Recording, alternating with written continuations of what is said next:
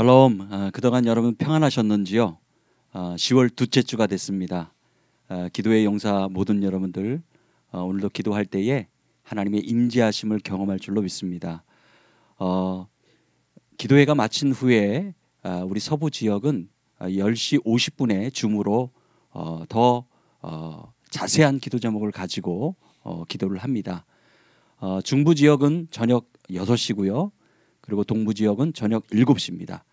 아, 혹시나 망설이는 분들 계실까봐 말씀을 드립니다. 망설이지 마시고 중으로 들어오셔서 어, 같이 예, 기도하시면 좋겠습니다. 기도하겠습니다. 하나님 감사합니다. 오늘도 월요 기도회 어, 10월 둘째 주 하나님께서 모이게 하시고 기도케 하신 하나님 감사합니다. 오늘도 주님의 이름으로 함께 모여 싸우니 하나님께서 친히 동행하여 주옵소서 예수 그리스도 이름으로 기도합니다. 아멘.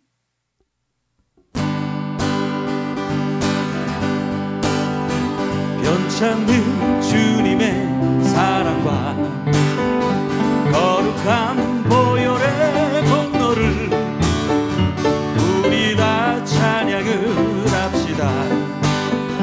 주님을 만나볼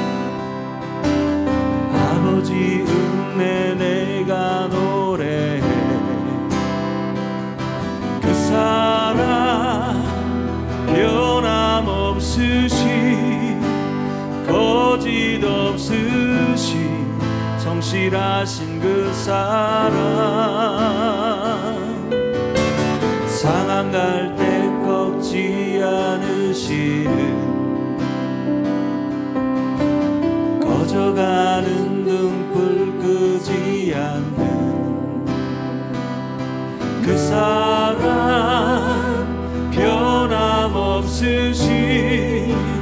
거짓 없으신 성실하신 사랑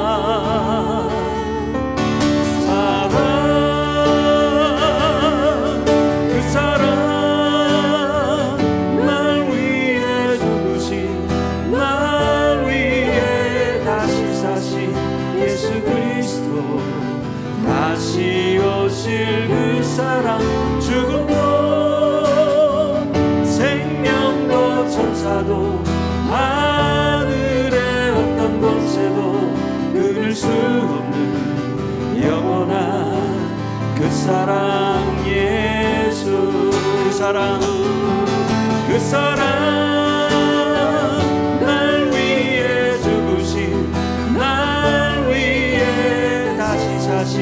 예수 그리스도. 다시 오실 그 사랑 죽음도 생명도 천사도 하늘의 어떤 권세도 끊을 수 없는 영원한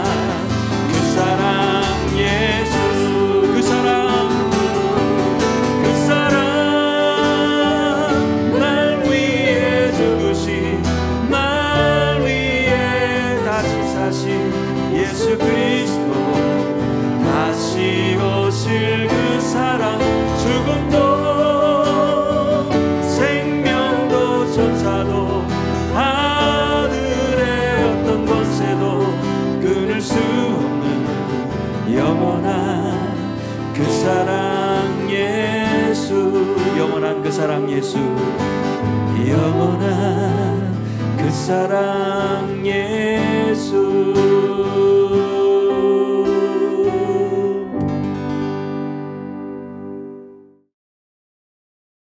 로마서 13장 1절에서 7절의 말씀을 봉독하고 하나님이 주시는 말씀으로 받고 감당하려고 합니다.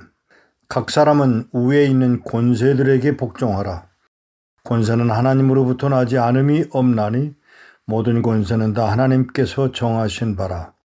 그러므로 권세를 거스르는 자는 하나님의 명을 거스름이니 거스르는 자들은 심판을 자취하리라. 다스리는 자들은 선한 일에 대하여 두려움이 되지 않고 악한 일에 대하여 되나니 내가 권세를 두려워하지 아니하려느냐 선을 행하라. 왜하면 그에게 칭찬을 받으리라.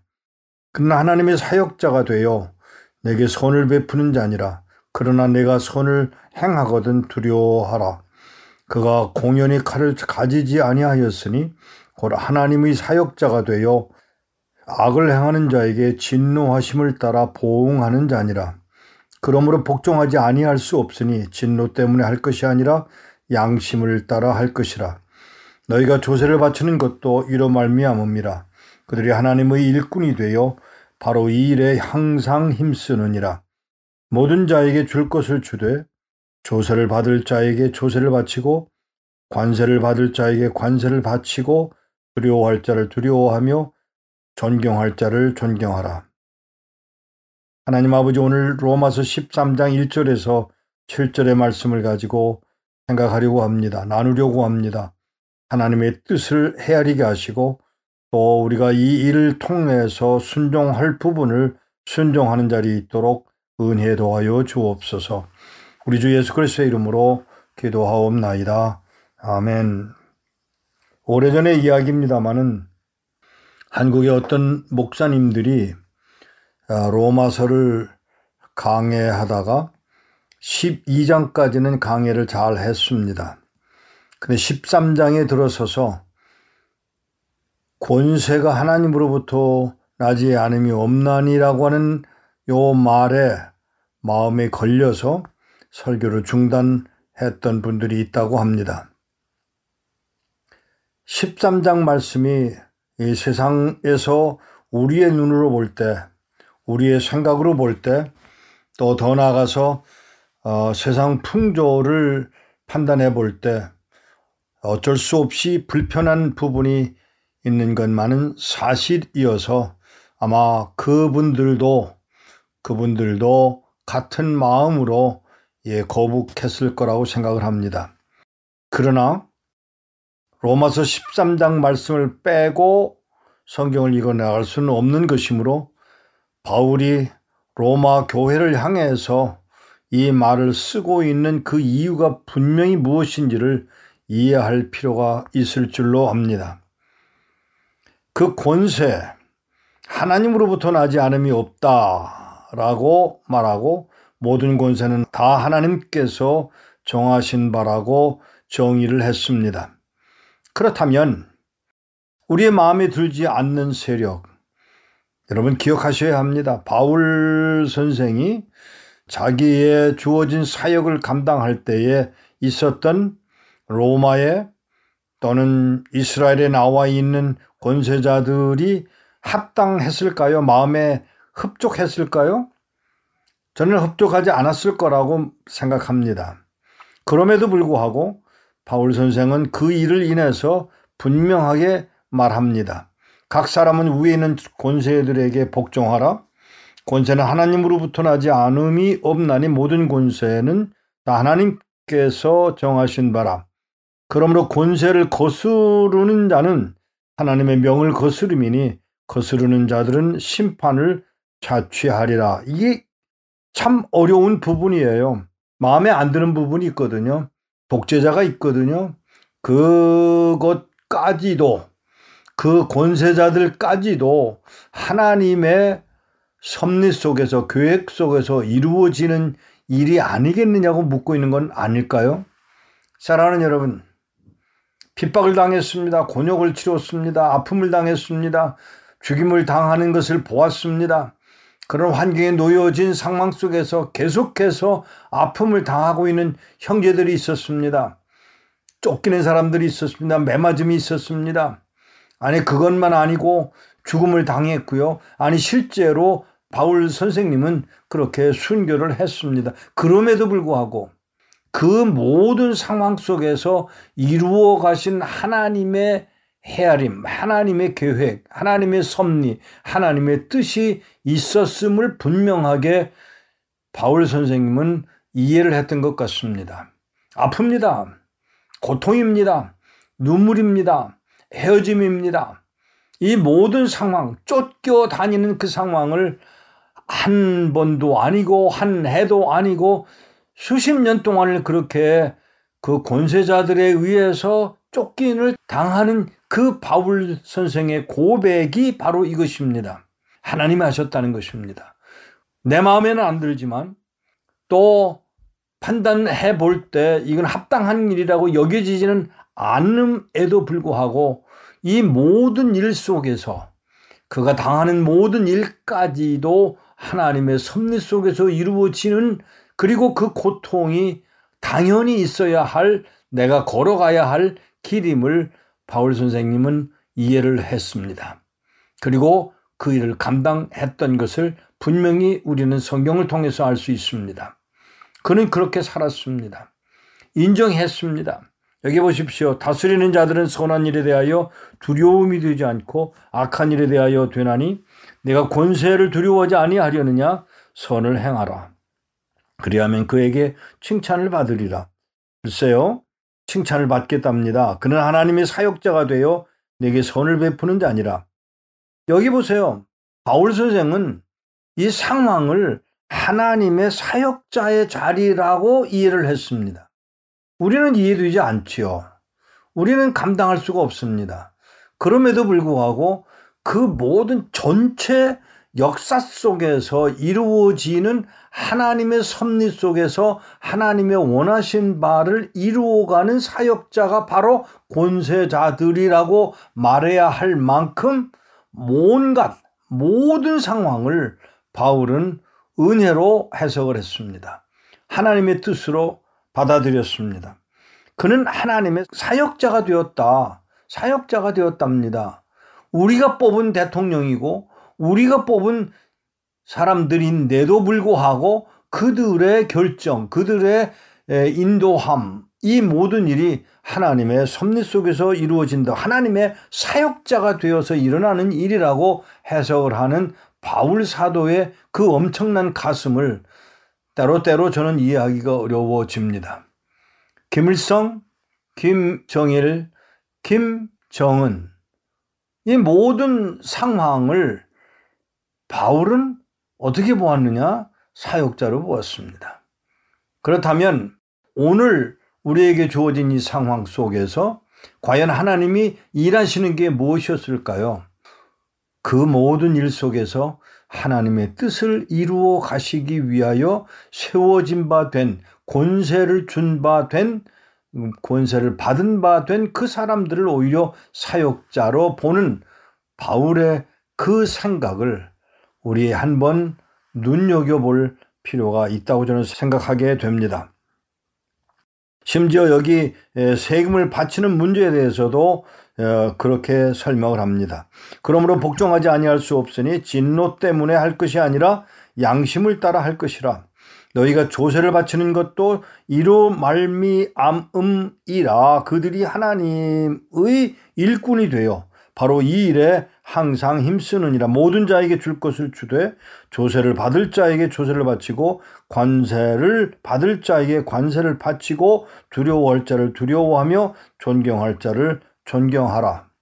굉장히 깊이 있는 말이기에 우리의 형편에서 우리의 상황 속에서 과연 나를 핍박하는 자를 나를 매질하는 사람을 그 권세를 가진 사람을 과연 축복하고 또 저주하지 말라고 하는 바울의 그 고백이 오늘 우리 현실에서 합당한 것이냐고 묻고 있는 것입니다. 사랑하는 여러분, 처음 서두에 말씀드린 것처럼 한국 땅에서 한국에 있어진 모든 정치인들을 향해서 나는 안 되겠다는 것입니다. 그래서 예, 강해를 중단을 하고 건너뛰어서 14장으로 넘어갔다는 이야기를 들으면서 그러면 하나님의 말씀은 어디까지만 내가 인정을 하고 어디까지는 나는 감당할 수 없는 것일까? 아닙니다. 그렇게 되어서는 안 됩니다. 전체가 즉각적으로 지속적으로 이루어져야 되는 순종의 대상일 뿐이고 법일 뿐입니다. 어렵죠? 어렵습니다. 그러나 거기에 바울은 조금 더 주저함 없이 자기가 가보지도 않은 그 땅에 자기가 미래에 가야 할 그 땅에 있어진 권세자들에게 복종하라고 명령하고 있는 바울의 의도를 우리는 깊이 생각해야 할 것입니다. 사랑하는 여러분, 알아요. 저도 알아요. 때로 어려워요. 따로 눈물을 흘려요. 지난 시간에는 말씀드리지 않았지만 저 사역하면서 어려운 일 적지 않게 당했어요. 매질도 당했어요. 고물도 당했어요. 그러나 고문하는 사람을 미워하도록 주님은 말씀하지 않으셨어요. 그들을 사랑하고 용서하고 축복하는 자리까지 가는데 13년이나 걸려야 했습니다. 그 어려운 기간 동안 늘 육체적으로 어려웠고 피 흘렸고 아팠고 그 일로 인하여 제가 후유증이 오랜 동안 계속되고 지금도 그 후유증을 안고 살지만 성경은 그런 일을 통해서 미워하라고 미워해도 된다고 칼을 들라고 칼을 갈라고 말하지 않으셨음을 눈여겨 보아야 합니다. 하나님의 말씀은 1.1억이라도 우리가 마음대로 바꿀 수가 없음을 기억하고 아멘으로 받아 순종할 뿐입니다. 내 마음에 든다고 해서 그게 합법적이고 내 마음에 안 든다고 해서 불법이고 이렇게 해석되어져서는 아니 된다고 믿습니다. 알아요. 힘들어요. 눈물을 흘렸어요. 그리고 다시 가고 싶지 않았어요. 그러나 하나님은 제게 말씀하십니다. 사랑하니? 용서하니? 축복했니? 이것이 주님의 말씀이라면 우리는 순종할 뿐입니다. 로마서 13장 말씀, 어려운 말씀이지만 받아 순종하는 여러분 되시기를 감히 축복합니다. 기도하겠습니다. 하나님 아버지, 로마서 13장에 있는 말씀 그대로를 받아 순종하는 저희들 되도록 긍휼을 더하여 주옵소서. 우리 주님 예수 그리스도의 이름으로 기도하옵나이다. 아멘. 어, 지금 이 시간은 어, 선포된 말씀을 붙들고 함께 에, 기도하도록 하겠습니다. 어, 어려운 상황 속에서도 하나님의 섭리와 뜻을 깨닫고 사명을 끝까지 감당하게 하옵소서. 아, 오늘 선포된 말씀을 보면 바울이 선교 사역을 감당할 때에 로마와 이스라엘 권사자들에게 핍박을 받았으며 곤욕을 당했음에도 불구하고 그 모든 상황에서도 이루어 가시는 하나님의 계획, 하나님의 섭리, 하나님의 뜻이 있음을 분명하게 알았기에 사명을 감당할 수 있었습니다. 어려운 상황 속에서도 하나님의 섭리와 뜻을 깨닫고 사명을 끝까지 감당하게 하옵소서. 우리 함께 기도하겠습니다. 로마서 13장 4절에 그는 하나님의 사역자가 되어 내게 선을 베푸는 자니라. 그러나 내가 악을 행하려거든 두려워하라. 그가 공연히 칼을 가지지 아니하였으니 곧 하나님의 사역자가 되어 악을 행하는 자에게 진노하심을 따라 보응하는 자니라. 라고 바울을 통하여 고백하게 하신 줄 우리의 형 나를 핍박하는 자를 그리고 권세 잡은 자를 오히려 하나님의 사역자라고 바울을 통하여 말씀하시는 하나님의 섭리와 뜻 그것을 깨닫는 자가 되기를 원합니다. 지금 상황이 참 어려운 상황 고백합니다. 코로나 바이러스 또 국가적인 어려움 이런 모든 어려운 상황을 주님 앞에 올려드리며 우리에게 허락하신 사명, 우리에게 허락하신 기도의 사명, 그 모든 일들을 감당하고 남을 수 있도록 도와주시고 또 그것을 끝까지 감당할 수 있는 우리 모든 기도의 용사들로 삼아 주시옵소서. 오늘 하나님의 말씀을 붙들고 기도합니다. 하나님의 말씀을 기억하며 기도합니다. 그 말씀에 사로잡고 그 말씀을 순종하며 나아갈 수 있는 이 모두가 될수 있도록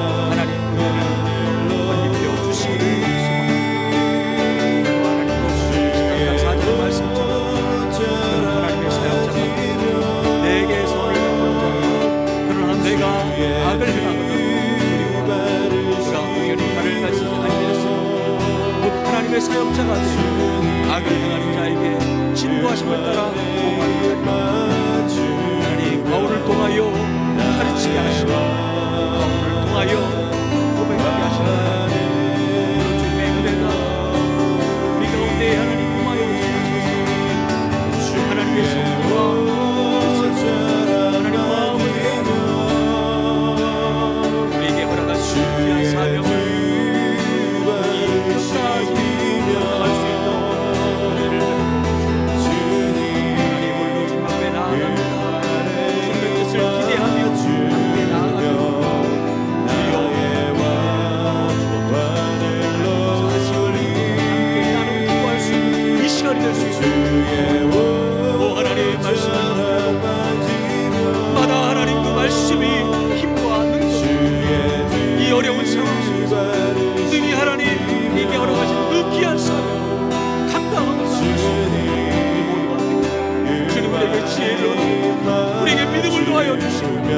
우리에게 하나님 지혜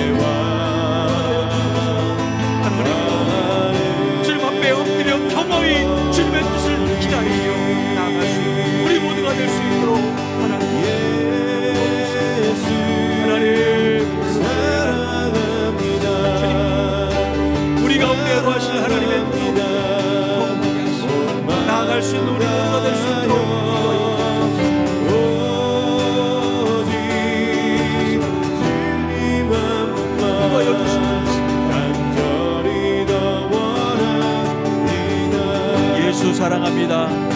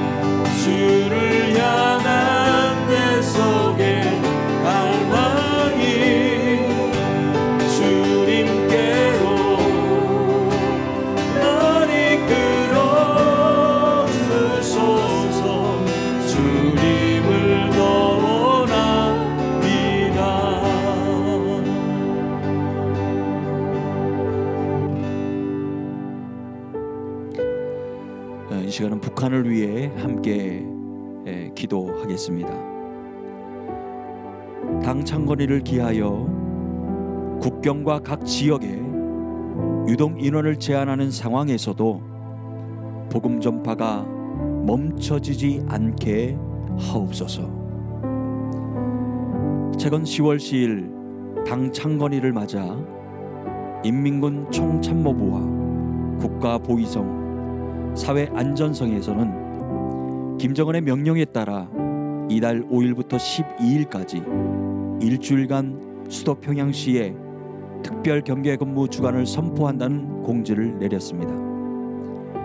이런 가운데 현대 지방의 당 기관과 단체, 기업소, 조직에는 특별 경계 근무 주간에 개인 장사찜 운송을 포함한 상업 용차와 인원들의 평양시 유동을 전면 중지한다는 지시가 내려짐에 따라 국경 및 특구 지역과 군수 공업 지구인 평안북도 대관군의 여행 증명서와 승인 번호 발급이 전면 중단되고 인원 유동도 제한되는 상황입니다. 당 창건일을 기하여 국경과 각 지역의 유동 인원을 제한하는 상황에서도 복음 전파가 멈춰지지 않게 하옵소서. 우리 함께 기도하겠습니다.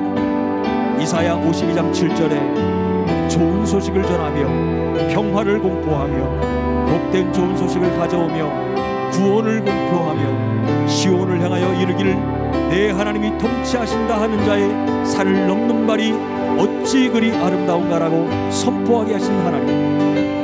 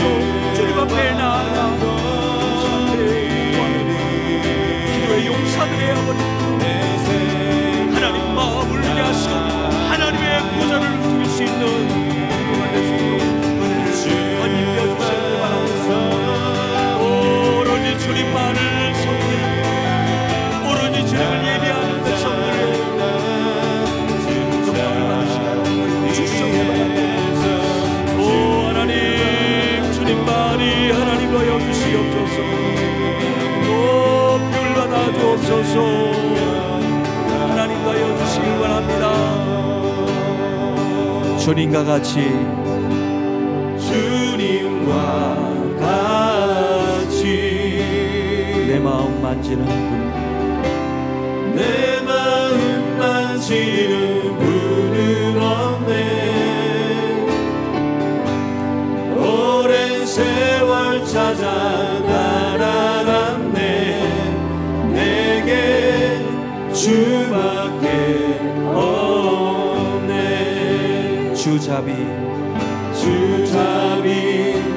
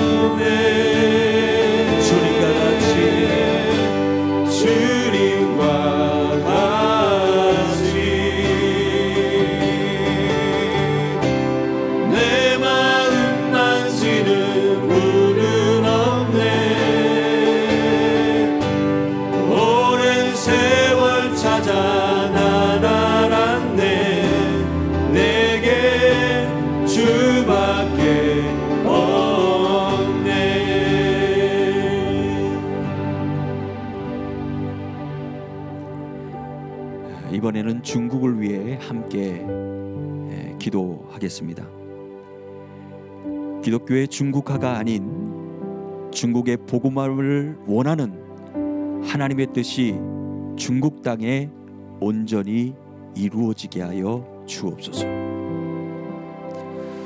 중국 정부는 학교에서 사용되는 교과서에 요한복음 8장에 가늠한 여인에 대한 예수님의 결정을 예수는 가늠한 여인을 돌로 쳐 죽였다고 왜곡하여 기록하는 등 끊임없이 성경 속의 공산주의 사상을 삽입하는 악행을 행하고 있습니다. 기독교의 중국화가 아닌 중국의 복음화를 원하시는 하나님의 뜻이 중국 땅에 온전히 이루어지게 하여 주시옵소서.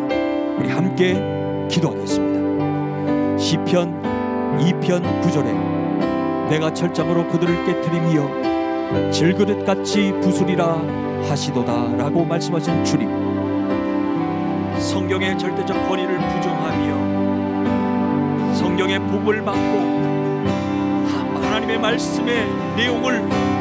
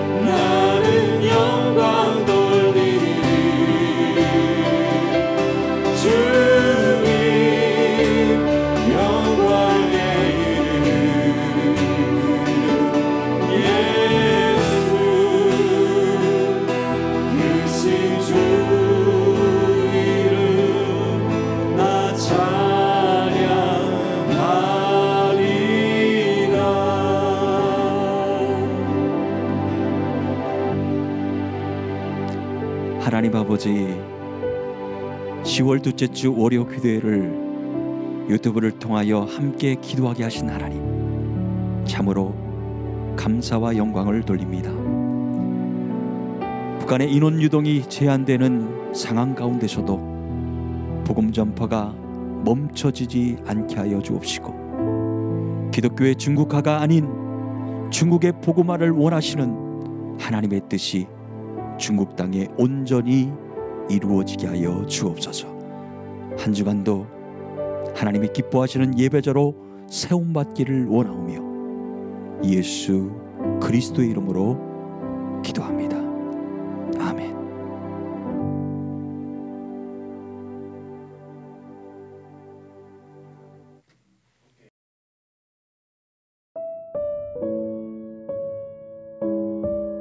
월요 기도 모임이 끝나면 중으로 구체적인 기도를 가지고 이어갑니다. 서부는 월요 기도 모임 후 10시 45분에 시작되고요. 중부와 동부는 중부 시간 저녁 6시, 동부 시간은 저녁 7시입니다. 줌 기도 참여 링크는 이메일과 카톡, 월요 기도의 유튜브 공개 댓글창에 올려드렸습니다. 여러분 참여와 기도를 부탁드립니다. 월요 기도회를 OKCN 라디오와 유튜브를 통하여 미국, 캐나다, 한국 등 각 나라와 지역에서 함께 기도할 수 있음에 감사드립니다. 오늘 기도 제목을 받기를 원하시는 분은 사무실로 연락 주시면 보내드리도록 하겠습니다.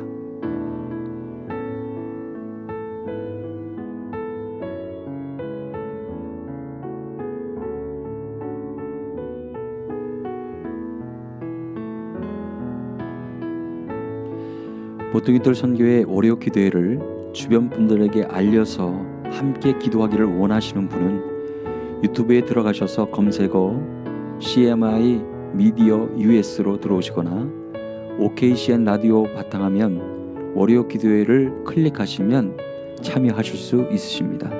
다음 주 월요 기도회 서부 시간 오전 10시에 다시 뵙겠습니다. 감사합니다.